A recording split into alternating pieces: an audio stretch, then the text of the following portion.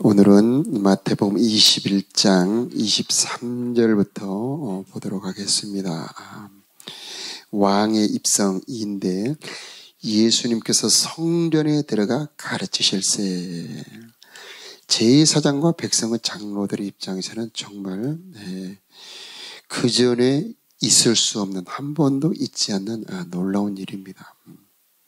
대대로 자기들의 영역에 저 예수라고 하는 사람이 와서 가르칠 때에 수많은 사람들이 그 말을 듣습니다. 아, 위기감을 어, 느낍니다.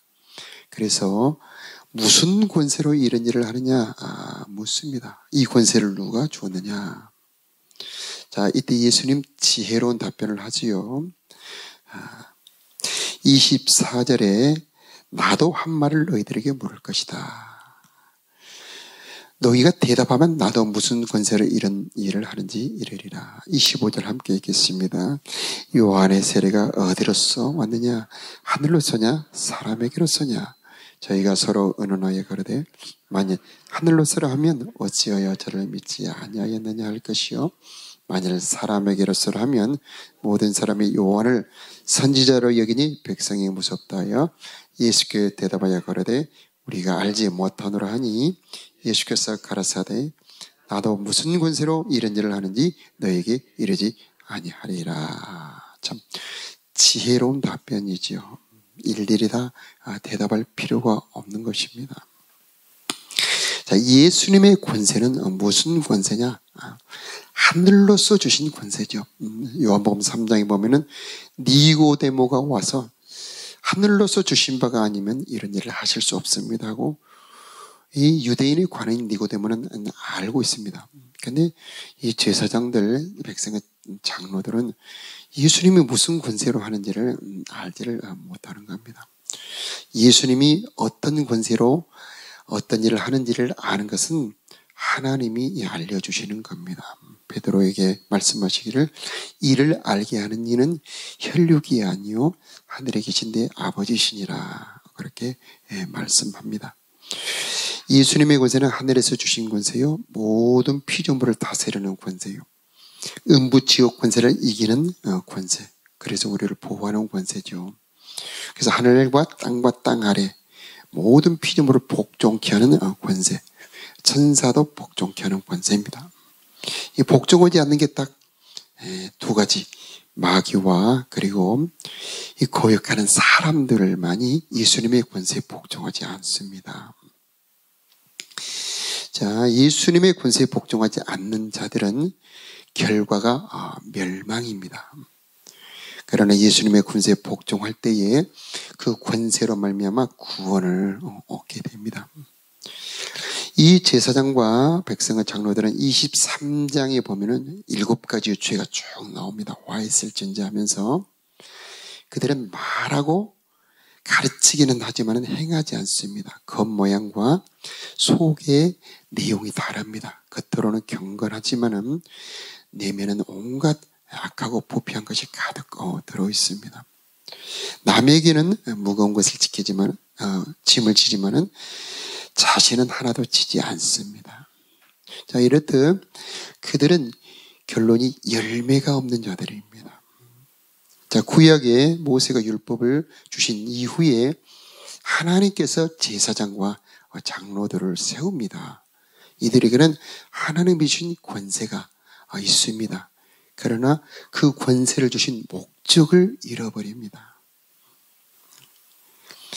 그래서 예수님이 주신 그 권세의 목적은 하나님의 영광을 드러내며 그분의 뜻을 행하여 공평과 정의, 인애와 자비를 행하는 것인데 그들은 그렇지 못하죠.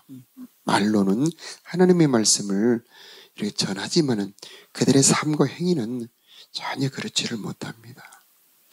예레미야서에 보면은 쭉 아주 예레미야가 통렬하게 그 백성의 지도자들, 어, 제사장과 장로들, 그리고 선지자들을 책망을 합니다. 자, 그들을, 그들에게 하나님께서 무려 한 1400년을 기회를 주십니다. 그러나 그들은 열매를 맺지 못할 때에 결국은 요한복음 15장에 예, 말씀하신 것처럼 열매를 맺는 가지는 더 열매를 맺게 하기 위해서 깨끗하게 하지만은 열매를 맺지 못하는 가지는 제하여 버리시느니라. 아, 그래서 지금 아, 유대인들의 성전이 없어지고 제사장의 직분을 행하지 못한 지가 2000년이 흘러갑니다. 하나님께서 제하여 버리신 거죠. 그리고 그 직분이 예수 그리스도와 교회로 넘어옵니다. 하나님의 은혜 주신 목적은 열매를 맺게 하는 것입니다. 그러니까 모든 은혜의 목적은 열매를 맺게 하는 겁니다. 그래서 요한에 대해서 질문을 하는데 요한에 대해서 대답을 못할 때 나도 무슨 권세로 이런 일을 하는지 너에게 알지 이르지 아니하리라 하면서 두 가지 비유를 말씀하시는데 28절부터 32절 1절까지 첫째 비유를 말씀하죠. 그래서 아들이 둘 있는데 큰 아들은 일하러 가겠습니다 하고 가지 않았는데 둘째 아들은 일하러 가지 않겠습니다 하고 나서 나중에 보니 가서 일을 하러 갔다. 그러면은 누가 아버지의 뜻대로 했느냐? 31절 말씀 함께 읽습니다. 시작. 그 둘 중에 누가 아비의 뜻대로 하였느냐? 가라되 둘째 아들이니이다. 예수께서 저에게 이르시되 내가 진실로 너희에게 이르니 세리들과 창기들이 너희보다 먼저 하나님의 나라에 들어가리라. 여기서 중요한 단어는 아비의 뜻대로 하나님의 나라에 들어가려면 하나님 아버지의 뜻대로 행하는 자라야 들어가리라. 아, 마태복음 7장 21절 말씀과 동일한 말씀입니다. 그래서 나더러 주여 주여 하는 자마다 다 천국에 들어갈 것이 아니다.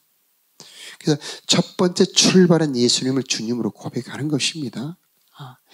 아, 이 주님이라 고백하는 것도 없이는 천국에 들어갈 수가 없죠.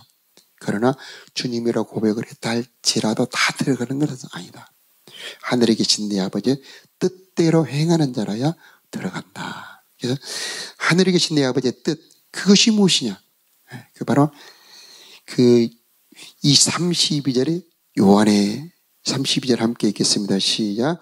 요한이 의의 도로 너에게 왔거늘 저희 저를 믿지 아니하시되 세리와 창기는 믿었으며 너희는 이것을 보고도 종시 뉘우쳐 믿지 아니하였도다. 그래서 아버지의 뜻과 동일한 단어는 의의 도입니다.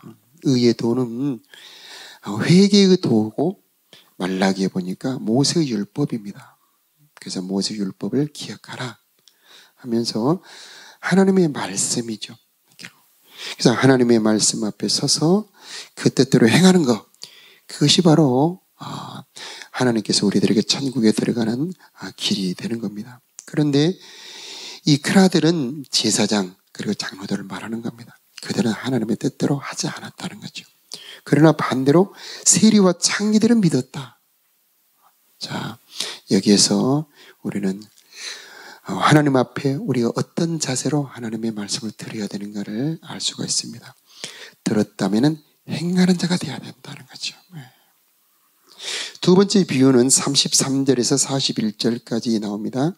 포도를 맡은 농부의 비유가 나오죠. 어떤 사람이 포, 좋은 포도를 만들어 놓고 농부들에게 세를 주고 갑니다. 실과 때가 가까움에 실과를 받으려고 농부들을 보내니. 자 35절 함께 읽어보겠습니다. 시작. 농부들이 종들을 잡아 하나는 심히 때리고 하나는 죽이고 하나는 돌로 쳤건을 다시 또 다른 종들을 처음보다 많이 보느니 저희에게도 그렇게 하였느니라. 37절 시작. 후에 자기 아들을 보내며 그러되 내 아들은 공경하려 하였더니 농부들이 그 아들을 보고 서로 말하되 이는 상속산이 자 죽이고 그의 유업을 차지하자. 자, 이 짧은 비유 안에 이스라엘의 전 역사가 다 들어 있습니다. 그래서 이 포도는 이스라엘을 말하는 것이고요. 이 열매를 받으러 하는 것은 하나님께서 이스라엘에게 요구하는 겁니다. 그 하나님께서 요구하는 것은 무엇입니까? 예, 공평과 정의, 인내와 자비, 바로 율법의 정신, 하나님의 뜻을 행하는 것입니다. 아. 그런데 그 열매를 요구했는데 그 농부들이 그 종들을 때렸다고 그러죠.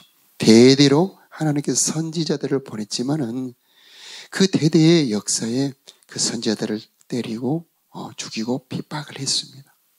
결국 이스라엘이 망한 이유가 바로 이 선지자들을 핍박했기 때문이죠. 마지막으로 아들을 보내며 내 아들은 공경하리라 했는데 야, 이 상속자니까 이 아들을 죽이고 포도를 차지하자. 자, 40절, 41절 함께 읽겠습니다. 시작. 그러면 포도원 주인이 올 때에 이 농부들을 어떻게 하겠느냐? 저희가 말하되 이 약한 자들을 진멸하고 포도원은 제때에 실과를 바칠 만한 다른 농부들에게 새로 줄지니라. 이것이 역사적으로 이루어집니다. 유대가 AD 72년에 완전히 멸망을 합니다. 그리고 이 유대인들은 전 세계로 흩어져서 2000년간 나라를 잃어버립니다. 하나님의 말씀은 반드시 이루어지죠. 열매가 없을 때는 이렇듯 그 가지가 제함을 당하게 됩니다. 반대로 열매를 맺을 때는 하나님께서 더욱 열매를 맺게 하기 위해서 그 열매를 풍성하게 하고 깨끗하게 하신다. 예, 말씀하고 있습니다. 자, 요한복음 15장에 우리 예수님께서 어떻게 하면 열매를 맺는지 말씀하고 있습니다. 나는 참 포도나무요, 내 아버지는 농부다. 열매를 맺는 가지는 더 열매를 맺게 하기 위하여 깨끗하게 하느니라. 4절에 내 안에 거하라. 나도 너희 안에 거하리라. 우리에게 삶에서 열매를 맺는 방법은 예수님 안에 거하는 겁니다. 예수님이 내 안에 거할 때에 그분의 성령의 진액이 우리 안으로 흘러 들어와 열매를 맺게 하는 겁니다. 너희가 내 안에 가고 내 말이 너희 안에 가면 너희가 저절로 열매를 아, 맺느니라 말씀을 합니다. 자, 우리는 스스로 열매를 맺을 수가 없습니다. 하나님은 열매를 맺게 하시는 하나님이십니다. 그분의 은혜와 능력이 내 안으로 흘러 들어와서 내 삶에 하나님의 뜻의 열매를 맺게 만들어 주시는 것입니다. 하나님의 능력이 들어올 때에 하나님의 은혜가 나로 하여금 하나님의 뜻을 어, 행하게 예, 만들어 주시는 겁니다. 자, 모든 은혜는 목적이 있습니다. 1만 달란트 탕감해 주신 목적은 무엇입니까? 100데나리온 너에게 빚진 사람도 너도 탕감해 주어라는 말씀이죠. 그런데 100 데나리온의 형제를 탕감하지 않았을 때에 임금은 다시 그를 불러서 1만 달란트 탕감해 주신 것이 예, 다시 무효가 되어서 옥에 갇히게 되지 않습니까? 그래서 하나님께서 우리들에게 보혈의 은혜를 주셨습니다. 1만 달란트 같은 억만의 죄를 다 용서해 주셨죠. 그것의 열매는 무엇입니까? 바로 내 곁에 예, 내가 나에게 상처를 주거나 어렵게 하거나 괴롭게 하는 사람들을 용납하고 받아주는 것입니다. 바로 그것이 바로 보혈의 은혜, 속죄의 은혜의 열매가 되는 것입니다. 하나님께서 우리들에게 열매 맺게 하기 위해서 공급해 주시는 은혜는 많이 있는데 말씀의 씨앗을 주십니다. 그래서 하나님의 말씀이 없이는 열매를 맺을 수가 없죠. 하나님이 우리들에게 원하는 열매는 말씀의 열매입니다. 두 번째는 성령의 은혜를 주십니다. 성령이 아니고는 우리가 열매 맺기 어렵습니다. 내 힘으로 맺을 수 없죠. 내 저절로 힘으로 맺을 수가 없습니다. 하나님의 은혜가 내 안에 들어와 감동 주고 힘을 주실 때 열매를 맺을 수가 있습니다. 또 열매를 맺게 할 때에 하려면은 마태복음 13장 23절에 보니까 깨닫게 해주신다 말씀을 하십니다. 깨닫게 해주신다. 그래서 계시해 주십니다. 어떤 사람이 밭에 일을 하러 갔는데 그 밭에 보화가 가득 감춰져 있습니다. 그때 그것을 발견하고 집으로 와서 자기 있는 것을 다 팔아 그 밭을 사지요. 하나님께서 우리들에게 말씀해 주실 때에 말씀을 열어주심으로 행하게 만들어주는 겁니다. 기도가 얼마나 보배로운지 깨달으면 그 사람은 기도하게 됩니다. 기도의 능력을 열어주시고 기도의 능력을 알게 해주셨을 때 그 사람은 힘을 내어 기도하게 되죠. 전도의 보배로움, 전도의 기쁨을 알고 전도의 열매를 아는 사람은 전도하지 마라고 그래도 전도를 할 수밖에 없죠. 이 사랑의 열매, 이것을 깨달을 때 우리는 힘껏 아, 사랑할 수 있게 되는 겁니다. 마가다락방에서 성령이 확 내려왔을 때에 사람들이 자기 전답 밭을 집을 팔아서 사도들 앞에 가져옵니다. 그들이 왜 가져올 수 있었을까요? 성령이 확 열어주시는 겁니다. 근데 아나니아 삽비라는 그것을 열어 보여주셨는데도 마음에 시험이 들어서 그걸 잊어버리죠. 그리고 그것을 밭을 판 것의 절반을 감추잖아요. 자, 그랬을 때 하나님께 책망을 합니다. 베드로가 왜 사단이 가득해 하나님의 은혜를 잊어버리느냐? 자, 우리가 어떤 것을 할 수 있다는 것은 하나님이 은혜를 부어주신 겁니다. 새벽 기도 이렇게 오시면 귀한 거죠. 새벽에 잠을 깨어서 온다는가? 피곤을 이기고 온다는가? 결코 쉬운 일이 아닙니다. 하나님이 보여주신 거죠. 새벽에 도우리라. 내가 새벽을 깨우리라. 하나님께서 새벽에 도우시는 하나님의 은혜를 알려주시기에 새벽에 이렇게 오시는 겁니다. 예배도 마찬가지고 그 모든 것이 마찬가지입니다. 하나님께서 열매 맺게 하시는 방법 깨닫게 해주시는 건데 우리들의 기도의 제목 하나님 내가 말씀을 들을 때 깨닫기를 원합니다. 깨달 게 하여 주셔서 열매 맺게 해주시옵소서 그렇게 아, 기도해야 되겠습니다. 또 우리가 열매를 맺으려면은 그 씨의 뿌리가 저 깊숙이 내리도록 자갈과 돌멩이를 꺼내야 되죠. 말씀이 뿌리 내리도록 할 때에 열매를 맺을 수가 있습니다. 주야로 묵상하며 말씀을 생각할 때에 우리는 말씀의 열매를 맺을 수가 있죠. 또 말씀의 열매는 말씀이 막히지 않도록 세상 재리의 유혹을 거절해야 됩니다. 세상 재미와 하나님의 말씀의 열매를 동시에 할 수가 없습니다. 그래서 잡초를 뽑아버리는 것처럼 하나님의 말씀과 거스르는 것을 다 뽑아버릴 때에 말씀이 힘을 얻게 되고 내 삶에서 열매를 어, 맺게 하는 겁니다. 또 말, 말씀의 열매를 맺으려면 인내로 결실해야 되죠. 한 번이 되지 않습니다. 인내해야 됩니다. 그리고 농부가 아, 쌀을 심어 이게 밥이 될 때까지 100번의 과정을 거친다고 그러죠. 많은 수고가 필요합니다. 그때에 열매를 맺게 되는데 그 열매로 말미암아 그 밭의 대우가 아, 달라지게 되는 겁니다. 천국은 누가 들어가느냐? 열매 맺는 자가 들어간다. 오늘 중요한 말씀 43절 함께 읽어보도록 하겠습니다. 그러므로 시작. 그러므로 내가 너희에게 이르니 하나님의 나라는 너희는 빼앗기고 그 나라에 열매 맺는 백성 받으리라. 아멘. 자, 왜 우리가 열매를 맺어야 됩니까? 아, 열매는 천국과 연결이 되어 있기 때문입니다. 네. 내 삶의 사랑의 열매, 내 삶의 전도의 열매, 내 삶의 팔복의 열매는 하나님의 나라 천국과 연결이 되어 있다는 겁니다. 만일에 이 열매가 맺어지지 않았을 때에 뺏기게 된다는 거죠. 자, 왜 그 대제사장과 장로들이 하나님의 나라를 뺏겼습니까? 왜 그 직분을 뺏기고 2000년이 지난 지금도 그 직분을 아, 행하지 못합니까? 그들은 대대로 열매를 맺지 않았습니다. 하나님의 마음을 아프게 했죠. 자, 우리들의 은혜 주신 목적, 구원의 보혈의 은혜를 주시고, 기도하게 하시고, 성령을 주시고, 말씀을 주시고, 교회를 주신 은혜. 내 삶에 생명을 주시고, 가정을 주시고, 내 삶의 은총으로 들러주신 목적은 열매를 맺게 하기 위함입니다. 그 열매는 무엇입니까? 하나님을 사랑하는 것입니다. 그리고 형제를 사랑하는 것이죠. 바로 이것이 열매가 아, 되는 것입니다. 자, 열매를 맺게 되면 요한복음 15장에 보니까 기도에 응답을 해주신다. 그렇게 말씀을 합니다. 너희가 내 안에 가고 내 말이 너희 안에 가면 무엇이든지 원하는 대로 구하라. 그리하면 이루리라. 이렇게 말씀을 합니다. 자, 열매 맺는 자들에게 하나님 주시는 은혜 중에 하나가 기도 응답입니다. 또 열매를 맺으면 하나님께 영광을 돌리게 되고 너희는 내 제자가 되리라. 그렇게 예, 말씀을 합니다.